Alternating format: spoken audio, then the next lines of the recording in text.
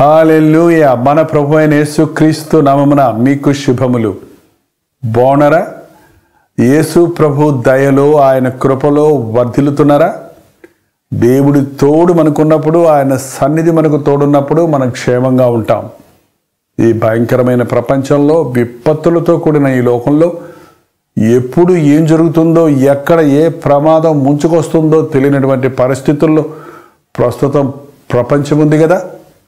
అక్కడ బాంబులు పేలాయి ఇక్కడ తుపాకులతో కాల్చి చంపారు అక్కడ ఈ విపత్తు జరిగింది అక్కడ ఈ వరదల్లో కొట్టుకుపోయారు. మరో ప్రక్క ఎంతో క్రూరులైన మనుషులు బయలుదేరుతున్నారు కదా.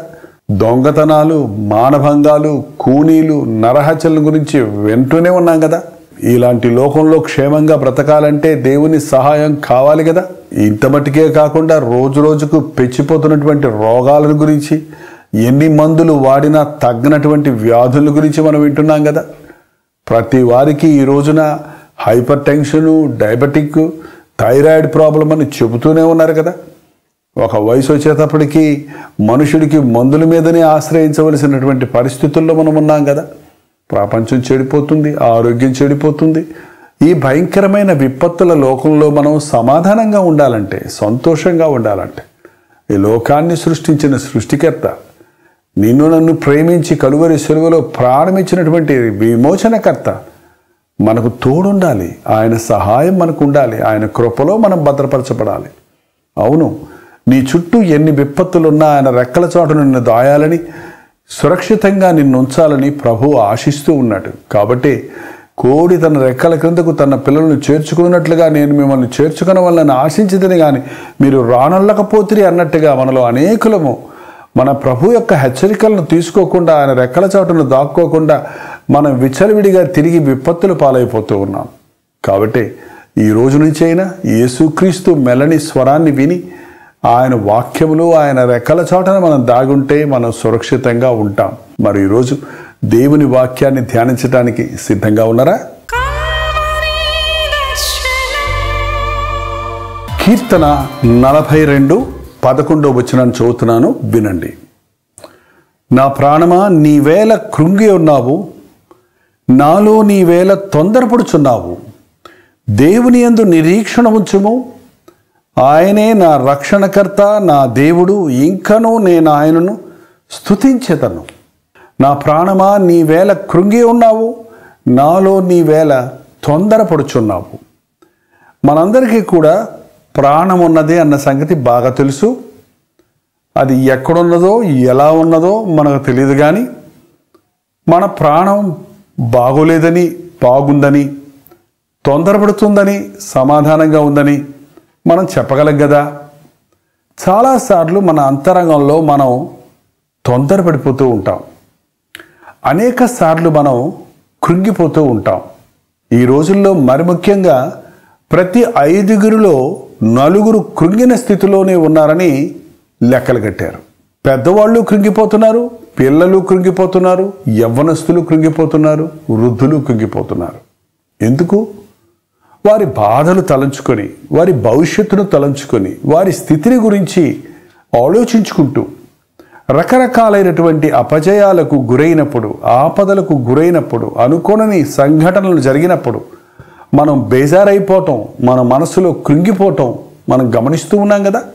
ఈ కార్యక్రమాన్ని వీక్షిస్తున్న మీరు ఎప్పుడైనా కృంగిపోయారా? ఎప్పుడు కృంగిపోయిన స్థితిలో ఉన్నాను అంటున్నారా? ఆలోచించండి. ఆయా సమయాలలో మన మనస్సులో బహుగా కృంగిపోతాం. అనుకొనని రీతిగా మన ఇంటి వారు మరణించినప్పుడు అనుకోని రీతిగా పరిస్థితులు మనకు వ్యతిరేకంగా మారినప్పుడు ఊహించినటువంటి విపత్తులకు మనం గురైనప్పుడు అకస్మాత్తుగా ఒక తీరని రోగం మనకు ఉందని డాక్టర్లు డయాగ్నోస్ చేసినప్పుడు ఎన్నోసార్లు మనం కృంగిపోతూ ఉంటాం. ఈ రోజున ప్రతి వ్యక్తి తానేదో సాధిద్దామని సాగుతున్నాడు విఫలుడై కృంగిపోతూ ఉన్నాడు. పరీక్షల్లో ఫెయిల్ అయ్యానని కృంగిపోయే పిల్లలు ఎంతమందో ఉన్నారు కదా? ఇంటర్వ్యూలో సెలెక్ట్ అవ్వలేదని కృంగిపోయేవారు మరెందరో ఉన్నారు కదా. అనుకున్న వివాహం జరగలేదని కృంగిపోయి జీవితాన్ని అంతం చేసుకునే వాళ్ళు కూడా ఉన్నారు కదా. ఇటు వాళ్ళని గురించి మనం వింటున్నప్పుడు వాళ్ళు ధనవంతులై ఉండొచ్చు చదువుకున్న వాళ్ళై ఉండొచ్చు అన్నీ తెలిసిన వాళ్ళై ఉండొచ్చు కానీ అంతరంగంలో జయం లేని పరిస్థితుల్లో ఎందరో ఉంటున్నారు. మీరు అలా ఉన్నారా? ఒక్కసారి మీరు ఎలా ఉన్నారో ఆలోచించుకోండి. మిమ్మల్ని మీరు పరిశీలించుకోండి. మీతో మీరు మాట్లాడుకోండి. ఈ భక్తుడు నా ప్రాణమా నీ వేళ నాలో కృంగి ఉన్నావు. నాలో నీ వేళ తొందరపడుతున్నావు. కొన్ని కొన్నిసార్లు మనం ఎందుకు కృంగిపోయి ఉన్నామో కూడా మనకు తెలియదు మనం ఎందుకు తొందరపడుతున్నామో కూడా మనం గుర్తించం. అది గుర్తించడానికి కూడా సమయం లేనంత తొందరపాటు మనలో చూస్తూ ఉంటాం. ఎందుకు నా మనసు చికాకుగా ఉంది? ఎందుకు నేను కోపడుతూ ఉన్నాను? ఎందుకు నేను ప్రతిదానికి విసుక్కుంటున్నాను? ఎందుకు ప్రతిదానికి నేను విరక్తిగా మాట్లాడుతున్నాను? ఏంటి నా బ్రతుకులో జరిగిన పొరపాటు అని మీరు ఆగి ఆలోచిస్తే అసలైన విషయాన్ని మీరు గుర్తించగలుగుతారు. చాలాసార్లు మనం ఒక విషయంలో తప్పిపోయినప్పుడు అనేక విషయాల్లో తప్పిపోతూ ఉంటాం. మన మనస్సు బాగోనప్పుడు మనం చేసే పనులన్నీ కూడా బాగోవు. చాలామంది మనసు బాగోలేదని క్లబ్బులకు వెళ్తారు. సారాయి దుకాణాలకు వెళ్తారు. చెడ్డ స్నేహితుల దగ్గరికి వెళ్తారు. ఏదో పిచ్చి పనులు చేస్తుంటారు. పాపం ద్వారా వచ్చే ఉపశమనం కోసం ఎదురు చూస్తూ ఉంటారు. చూడండి పాపం ఒక విధమైన ఉపశమనాన్ని మనకిస్తుంది. ఆ మత్తులో ఉన్నంతసేపు వాడికి బాగున్నట్టు ఉంటుంది. ఆ ఫ్రెండ్స్ సర్కిల్లో ఉన్నంతసేపు వాడు తన దుఃఖాన్ని మర్చిపోయినట్లుంటాడు చేతి వేళ్ళ మధ్య గజ్జి వచ్చిన వాళ్ళు వారు గోక్కుంటా ఉన్నప్పుడు మీరు ఎప్పుడైనా గమనించారా? వాళ్ళు గోక్కుంటున్నప్పుడు అది చాలా బాగా ఉంటుంది. హాయిగా ఉన్నట్టు అనిపిస్తుంది. కానీ గోక్కోవటం ఆపేశారంటే మళ్ళీ సొర్రడం మంట పుట్టుద్ది. కాబట్టి మళ్ళీ గోకుతారు. మళ్ళీ గోకుతారు. మళ్ళీ మళ్ళీ గోకుతారు. చివరికి ఆ చెయ్యి అంతా పుండై సెప్టిక్ అయిపోద్ది. ఒక్కొక్కసారి చెయ్యి కూడా తీసివేయాల్సి వస్తుంది. అలాగే పాపం అది చేస్తున్నంతసేపు ఒక విధమైనటువంటి సుఖం ఒక విధమైన సంతోషం ఉన్నట్టుగా అనిపిస్తుంది అంతమటికే. ఆ తాగినంతసేపు ఆ మత్తులో వాడికి ఏం తెలియదు కాబట్టి బాగున్నాను అనుకుంటాడు. మత్తు వదలగానే వాడి బాధ మరెక్కువై మరలపై తాగుతాడు. చూసారా అనేక మంది ఈ రోజున పాపం ద్వారా ఉపశమనం కోసం ఎదుగుతున్నారు. కృంగిన సమయాలలో సాతాను మనల్ని బహు సులభంగా తన కైవసం చేసుకుంటాడు. అందుకే జాగ్రత్తగా ఉండండి. శ్రమ దినమున నీవు కృంగిని ఎడల చేతగాని వాడు బగుదువు అని దేవుని వాక్యం సెలవిస్తుంది. శ్రమలు వచ్చాయని కృంగిపోతారేంటి? కష్టాలు వచ్చాయని కృంగిపోతారేంటి? కష్టాలు శ్రమలు లేకుండా మానవ జీవితం ఉందనుకుంటున్నారా? ఏ నిందలు బాధలు భరించకుండానే యోగ్యమైన జీవితాన్ని జీవిద్దాం అనుకుంటున్నారా లోకంలో కష్టాలు కలుగుతాయి. మనం నమ్మిన వారే మనల్ని మోసగిస్తారు. మన సొంత వారే మనపై తిరగబడతారు. మనం ఎంతగానో ఆధారపడిన వారు మనల్ని వదిలిపెడతారు. అలాంటి పరిస్థితుల్లో కృంగిపోవద్దు. నా భర్త నన్ను విడిచిపెట్టేశాడే అని కృంగిపోయి ఆత్మహత్య చేసుకుంటే నీవు నరకానికి పోతావు సుమా. నీ భర్త మనస్సు మార్చగలిగిన యేసు ప్రభు ఉన్నాడని విశ్వసిస్తే నీవు నీ నిర్దోషత్వాన్ని నిరూపించుకున్నట్లుగా ఓర్పుతో కనిపెట్టి ప్రార్థిస్తే నీ కుటుంబం మరలా కట్టబడుతుంది. నా భార్య పుట్టింటికెళ్ళి రావటం లేదే అని కృంగిపోయి వేషల దగ్గరికి వెళితే అనారోగ్యం పాలయ్యేది నువ్వే కదా నీ ఆత్మ అంతకంతకు నాశనమైపోతుంది కదా. నీ భార్యను మార్చగలిగిన దేవుడున్నాడు అని విశ్వసించాలి. లోకంలో కలిగే ప్రతి విపత్తుకి ప్రతి సమస్యకు విరుగుడు మరణం కాదు మందు కాదు. ఈ లోకంలో ఉన్న ఆడంబరాలు కాదు. చాలామంది ఈ రోజున కృంగిన సమయాలలో ఏం చేస్తున్నారో వారికి తెలియని రీతిగా ప్రవర్తిస్తూ ఉంటారు. కొందరు రోడ్ల మీద తిరుగుతూ ఉంటారు. మరికొందరు తమకు తాము హాని చేసుకుంటూ ఉంటారు. ఒక్కసారి ఆలోచన చేయండి ఈరోజు మీ హృదయ స్థితి ఎలా ఉన్నది? మీరు కృంగిన స్థితిలో ఉన్నారా? ఒకవేళ ఈరోజు బాగున్నారు కానీ అప్పుడప్పుడు కృంగిపోతూ జీవితం మీద మెల్లమెల్లగా విరక్తి చెందుతున్న పరిస్థితుల్లో మీరున్నారా? ఆగి ఆలోచించండి. నా ప్రాణమా నీవేళ కృంగి ఉన్నావు నీవేళ నాలో తొందరపడుచున్నావు. మనం మన ప్రాణాన్ని చాలా ప్రేమించుకుంటాం. అంటామే కానీ మనం అందరికంటే మన సొంత భర్త భార్య బిడ్డల కంటే నీ ప్రాణాన్ని నువ్వు ప్రేమించుకుంటున్నావు అన్న సంగతి ఎప్పుడన్నా గుర్తించావా? నా ప్రాణమా? తినుము తాగుము సంతోషించుము అన్న రీతిగానే ప్రతి మానవుడు స్వార్థపూరితుడిగానే ఉన్నాడు. నీ ప్రాణమును నీ సకల మార్గములను ఎవరి చేతుల్లో ఉన్నవో ఆయనను నీవు ఘనపరచాలి. నీకు ప్రాణమిచ్చిన వాడు దేవుడు. నీ కాలగతులు ఆయన చేతిలో ఉన్నాయి. ఆయన మీద విశ్వాసం ఉంచాలి నా ప్రాణమా నీవేళ కృంగి ఉన్నావు? నీవేళ నాలో తొందరపడుచున్నావు? దేవుని యందు నిరీక్షణ ఉంచుము. దేవుడున్నాడు అని విశ్వసించు. దేవుడు నన్ను విడిపిస్తాడు అని నమ్ము. దేవుడు ఈ ఆపద నుంచి నన్ను తప్పిస్తాడు అని గుర్తించు.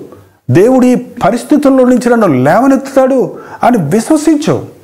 నేను సృష్టించిన సృష్టికర్త కునుకడు నిద్రపోడు. నిన్ను ప్రేమించిన ప్రభు తన ప్రాణమునే నీ కొరకు అర్పించాడు నీ కొరకు ఏదైనా చేయడానికి ఆయన సిద్ధంగా ఉన్నాడు. ఆపదలు వచ్చినప్పుడు యేసు వైపు చూడండి. బాధలు వచ్చినప్పుడు యేసునామంలో ప్రార్థించండి. చిక్కుల్లో పడ్డప్పుడు దేవునికి కేకవేయండి. ఆపత్కాలంలో నీవు నాకు మొరపెట్టు నేను నీకు ఉత్తరం ప్రభు చెప్పాడు. అవును కృంగిపోయిన సమయాలలో మనుషుల దగ్గరకు వెళ్ళకండి. కృంగిన సమయాలలో మీ మనసును నమ్ముకోకండి. మీ మనసులో నుంచి వచ్చే ప్రేరేపణలకు లొంగకండి. నిరీక్షణ ఉంచటం నేర్చుకునండి. నిన్ను సృష్టించిన సృష్టికర్త ఒకడున్నాడు సర్వశక్తిమంతుడైన ఆ దేవుడు నీ ఆపదలు ప్రమాదాలు చిక్కులు సమస్యల నుంచి నిన్ను విడిపించగలడు అని విశ్వసించండి.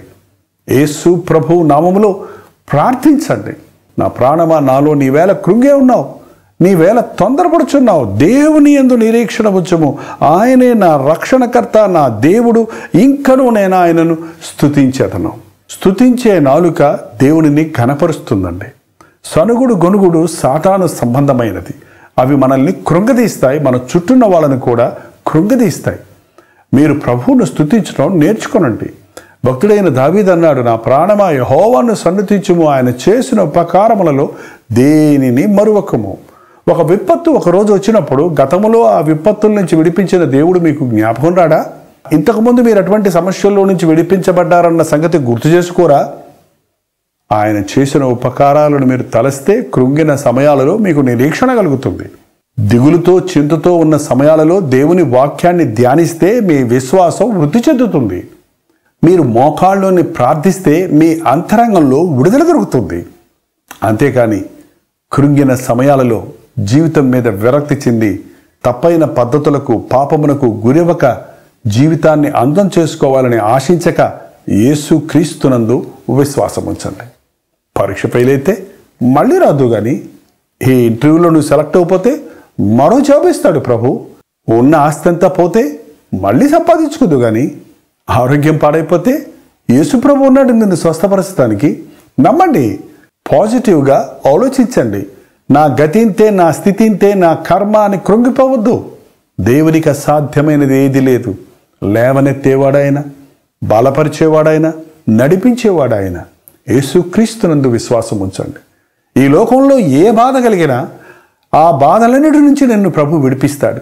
ఏ శ్రమ కలిగినా ఆ శ్రమల నుంచి నిన్ను ప్రభు విడిపిస్తాడు. అవును మీరు దేవునికి మొరపెడితే మీ బాధలన్నిటిలో నుంచి మీ శ్రమలన్నిటిలో నుంచి మిమ్మల్ని విడిపించగలిగిన వాడిగా ఉన్నాడు. కీర్తన ముప్పై నాలుగులో చూడండి. నాలుగో వచనంలో నేను యహోవా యొద్ద విచారణ చేయగా ఆయన నాకు ఉత్తరమిచ్చను. నాకు కలిగిన భయములన్నిటి నుండి ఆయన నన్ను తప్పించను. నేను ఆయనకు మొరపెట్టాను. ఆయన నాకు జవాబిచ్చాడు. నాకు కలిగిన భయములన్నిటి నుంచి ఆయన నన్ను విడిపించాడు. ఇంకా చూడండి. ఆరో వచనంలో ఈ దీనుడు మొరపెట్టగా యహోవా ఆలకించను. అతని శ్రమలన్నిటి నుండి అతని రక్షించను. ఈ దీనుడు మొరపెట్టగా దేవుడు ఆలకించాడు. నా శ్రమలన్నిటి నుంచి నన్ను విడిపించాడు. పంతొమ్మిదవ వచనంలో నీతిమంతుని కలుగు ఆపదలు అనేకములు వారన్నిటిలో నుండి యహో వారిని విడిపించును. నీ భయములన్నిటిలో నుండి నీ బాధలన్నిటిలో నుండి నీ శ్రమలన్నిటిలో నుండి నీ ఆపదలన్నిటిలో నుండి నేను విడిపించే దేవుడున్నాడు నీవు ఆయనకు మొరపెడితే. కృంగిన వేళల్లో దేవుని సన్నిధిలో మొరపెడతాను నేర్చుకో. దిగులుతో చింతతో నీవు కృంగిపోయిన సమయాలలో నేను నీవే బలపరుచుకున్నట్లు నీ దేవుని వైపు నీ కొరకు ప్రాణమిచ్చిన ఆ క్రీస్తు వైపు చూడు. నీకు రావలసిన శిక్షంతా భరించాడు. నీ శాపాన్ని కొట్టివేశాడు. నీ రోగాలకు స్వస్థతను కలుగజేశాడు. తన రక్తము ద్వారా నిన్ను కొన్నాడు విమోచించాడు. ఆయన రాజ్యం వారసుడిగా చేసుకున్నాడు. కాబట్టి ప్రియ సహోదరుడ సహోదరి కృంగిన సమయాలలో యేసు వైపు చూడటం మోకాళ్ళుని ప్రార్థించటం దేవుడి చేసిన మేలును జ్ఞాపకం చేసుకునటం అభ్యాసం చేసుకునండి. దేవునికి మొరపెట్టండి. మీ భయములన్నిటి నుంచి మిమ్మల్ని విడిపిస్తాడు. ఎన్ని భయాలు మిమ్మల్ని పట్టి పీడిస్తున్నాయో? భవిష్యత్తుని గురించిన భయం దొంగల భయం వ్యాధుల భయం చనిపోతాననే భయం రకరకాల భయాలతో మనుషుడు ఈ రోజున పీడించబడుతున్నాడు. నీవు యేసు ప్రభువుకు మొరపెడితే నీ భయములన్నిటి నుండి ఆయన నిన్ను విడిపిస్తాడు. ఏ శ్రమలు కలిగిన అనారోగ్య పరిస్థితులైన మనుషుల ద్వారా నీకు శ్రమలు కలిగిన నిందలు కలిగిన నీవు దేవునికి మొరపెడితే ఆయన చేతి కింద నుండి దాచి నోటి మాటల వలన కలుగు నొప్పి నీకు కలగకుండా నేను చేస్తానంటున్నాడు. అవును. ఈ ప్రభువునందు విశ్వాసం ఉంచండి. నీకు కలిగిన ఆపదల నుండి నిన్ను కాపాడటానికి ప్రభు సిద్ధగున్నాడు. రోడ్డు మీద వెళ్ళాలంటే ఏ యాక్సిడెంట్లు అవుతాయో ఏ విపత్తులు జరుగుతాయో అని భయం కదా? అనేక రకాలైనటువంటి ఆపదలు చుట్టుముట్టుకుంటున్నాయి కదా. కానీ నీవు ప్రభువుకు మొరపెడితే నీ కుడి పక్కన పదివేల మంది పడినను నీకు ఏ అపాయం రాకుండా ప్రభువు కాపాడతానని వాగ్దానం ఇస్తున్నాడు తొంభై ఒకటో కీర్తన చదవండి ముప్పై నాలుగో కీర్తన చదవండి నలభై రెండో కీర్తన చదవండి మోకాళ్ళుని ప్రార్థించండి క్రమముగా బైబిల్ను రోజు మూడు అధ్యాయాలు ఆదివారం ఐదు అధ్యాయాలు చదవండి రోజు దేవునితో సహవాసం చేయటం ఆయనతో మాట్లాడుకొని ప్రార్థనలో సంభాషణ చేయటం అభ్యాసం చేసుకునండి. అప్పుడు నీవు దేనికి భయపడిన అవసరం లేకుండా ఈ లోకంలో సౌఖ్యంగా సంతోషంగా ఉండగలుగుతావు. ఈ లోకం విడిచినప్పుడు ప్రభు రాజ్య వారసుడు అవుతావు. ప్రార్థన. పరిశుద్ధుడ ప్రేమగలిన తండ్రి ఈ వర్తమానమును ఆలకిస్తున్న ప్రతి ఒక్కరిని చూడుము నాయన. అనేక సార్లు మా జీవితాల్లో కృంగిపోతున్నాము. నిరుత్సాహపడిపోతున్నాము. దిగులు పడిపోతూ ఉన్నాము. ఈ లోక పరిస్థితులను చూస్తున్నప్పుడు మా చుట్టూన్న వారు మా పట్ల ప్రవర్తిస్తున్న విధానాన్ని చూస్తున్నప్పుడు ఈ లోకంలో మేమేమి సాధించలేకపోతున్నామే అని ఆలోచిస్తున్నప్పుడు అనుకున్నవి జరగకపోగా ఆపదలు విపత్తులు కలుగుతున్నప్పుడు ఎంతో దుఃఖముతో మనోవేదనతో కృంగిపోచున్నాము తండ్రి. ఎవరెవరైతే ఈ సమయంలో కృంగుదలలో ఉన్నారో నిరుత్సాహంలో ఉన్నారో అట్టి వారిని నాజరేడని యేసుక్రీస్తు నామంలో విడుదల చేయించున్నాము తండ్రి. నీ మెల్లని స్వరాన్ని వారికి వినిపింప చేయము నీకు మొరపెట్టి నీవిచ్చే విడుదలను పొందటానికి నీకు ప్రార్థించి నీవిచ్చే సమాధానం పొందటానికి నీ అందు విశ్వాసముంచి నీవిచ్చే స్వస్థతను పొందడానికి నీ నామములో ఉన్న విడుదలను సంపాదించుకున్నట్లుగా ఈ కార్యక్రమాన్ని వీక్షిస్తూ ఈ ప్రార్థనలో ఏకీభవిస్తున్న ప్రతి ఒక్కరికి నీ సహాయం చేయమని. ఆయా సమయాలలో సాతాను మమ్మల్ని కృంగదీయినప్పుడు పరిస్థితులు మమ్మల్ని నిరుత్సాహపరుస్తున్నప్పుడు మమ్మల్ని విడిపించే క్రీస్తున్నాడని మమ్మల్ని బలపరిచే ప్రభు ఉన్నాడని మాకు జయమిచ్చేటువంటి యేసు క్రీస్తు ఉన్నాడని విశ్వసించినట్లుగా నీ యందు నిరీక్షణ ఉంచుటకు సహాయము చేయము. నా రక్షణకర్త అయిన దేవుని యందు నేను విశ్వాసం ఉంచదను అని పరిస్థితులను ఎదురించుటకు మా ఒక్కొక్కరికి నీ సహాయము చేయమని యేసు క్రీస్తు నామములో అడుగుచున్నాము తండ్రి. ఆమెన్. దేవునికి స్తోత్రం. నిరుశాపడకండి ప్రతి చిన్నదానికి కృంగిపోవద్దు ఏడుస్తూ కూర్చోవద్దు దిగులుతో మూలగొద్దు. ఆ బాధను తట్టుకోవడానికి ఆ బాధను మర్చిపోవడానికి పిచ్చి పిచ్చి పనులు చేయకండి తప్పుడు పనులు చేయకండి.